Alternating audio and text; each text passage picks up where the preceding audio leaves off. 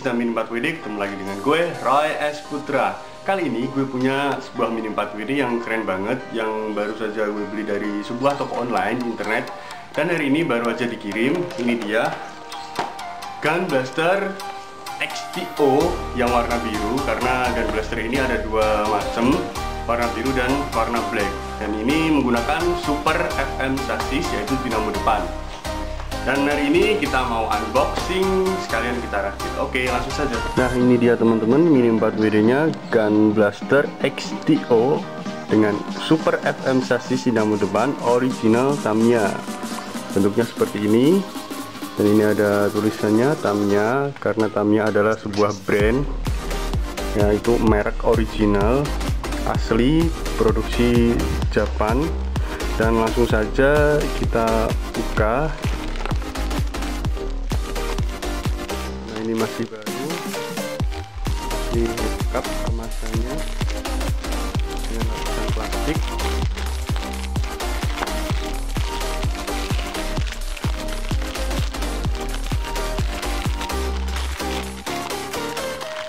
Uh, mungkin perlu teman-teman tahu bahwa gun blaster ini ada dua macam. Dan ini yang versi pertama gun blaster warna biru XTO dan yang kedua ada lagi gun blaster yang warna black yang Cusco spesial bukan yang STO dan langsung aja kita buka seperti apakah bentuknya nah ini dia. Oke yang pertama ada pelek warna merah karena merek Tamiya yang original itu ya gambar box dan juga isinya itu akan sama persis.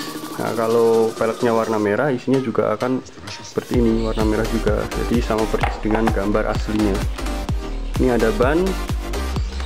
Ban depan lebih kecil nah, ban belakang lebih lebar. Terus ada ini dia. Ini yang paling penting ada sasis ya, Super FM sasis dengan dinamo depan. Nah seperti ini bentuknya. Nah ini kemudian ada body bodinya berwarna biru langsung aja kita buka.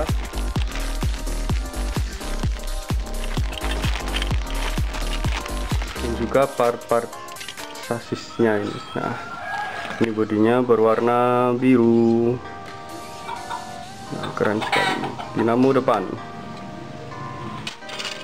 Ini ada part dari sasis-sasisnya. Kemudian ini ada gear.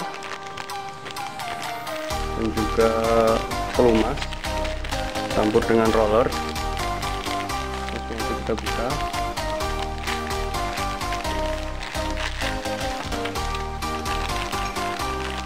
Ini ada penghubung 4WD dan ini ada as roda nah rumahnya seperti ini bentuknya. Nah bentuknya aneh ya.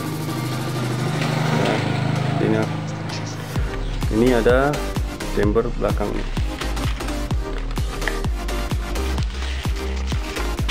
Ini ada kartu ini ada petunjuknya ini. Ya, besar banget. Ini juga nah, berbahaya untuk anak kecil.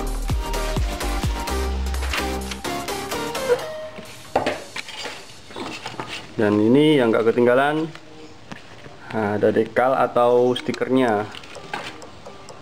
Oke mungkin teman-teman bertanya dinamonya kok nggak ada ya Oke sebelum gue beli gue udah tahu kalau uh, Mini 4 WD original Tamiya yang seri lama seperti ini belum termasuk dinamo jadi nggak ada dinamonya kalau kita lihat isinya udah habis isinya nggak ada yang tersisa isinya cuma gini aja. Nggak ada dinamonya mungkin cuma ada gear dinamo nah, oleh karena itu gue mau masang Mini 4 WD ini dengan dinamo standar karena gue udah punya dinamo standar. Jadi langsung kita rakit aja Oke, sebelumnya kita rapikan dulu komponen-komponennya.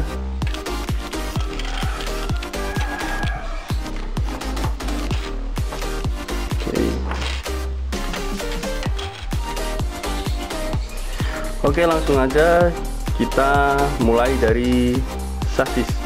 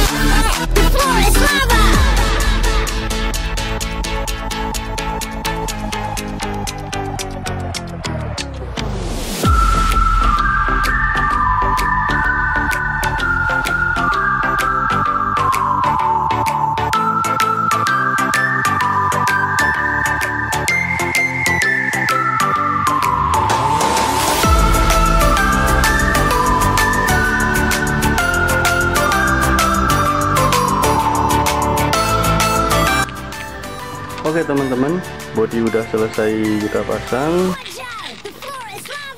Seperti ini bentuknya, Super FM sasis dengan dinamo depan.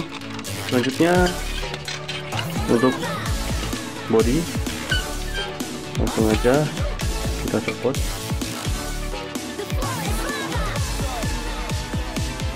Oke teman-teman, langsung saja kita mulai untuk memasang stiker pada body.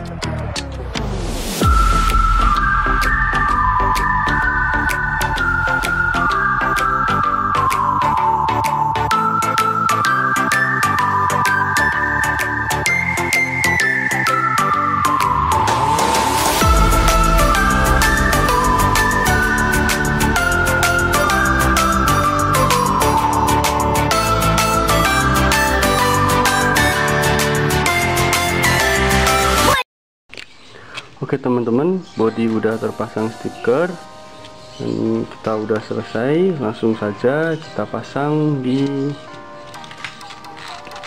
bodinya.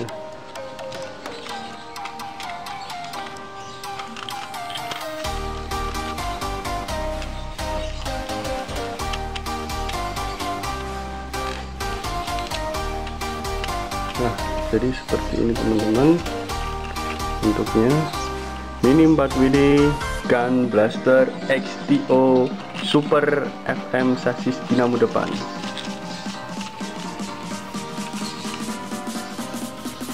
Oke teman-teman itu tadi adalah unboxing. Kalian merakit Mini 4WD Gun Blaster XTO dengan Super FM sasis.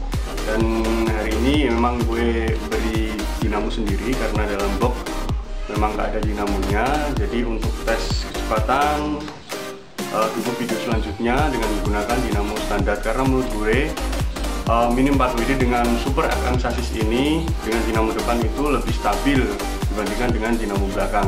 Jika kalian suka dengan video ini jangan lupa like, comment, and subscribe. Sampai ketemu di video selanjutnya. Bye